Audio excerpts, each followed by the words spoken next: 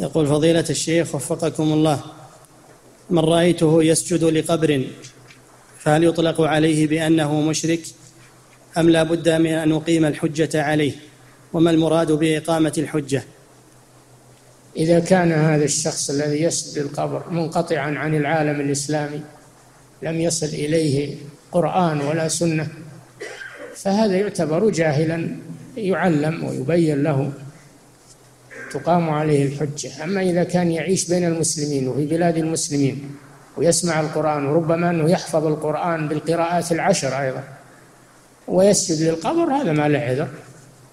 هذا ليس له عذر. بلغه القرآن. الله جل وعلا يقول لنبيه صلى الله عليه وسلم وأوحي إلي هذا القرآن لأنذركم به ومن بلغ. نعم.